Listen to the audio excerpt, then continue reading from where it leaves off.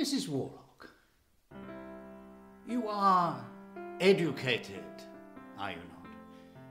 Educated enough to understand that deliberately adding this mixture of arsenic to a person's drink would cause intolerable suffering, pain, and death. You understand this? It was on a Monday. Father came home that day and sent me to the public house to buy beer. Tell this court the truth. Tell this court. Deceased looked at me and said, Mrs. Butler, I sent for a pint of beer being thirsty and drank hearty. He then said he found he had swallowed something that burnt his mouth much. Murder! Mrs. Worlock is what you had in mind. A murderer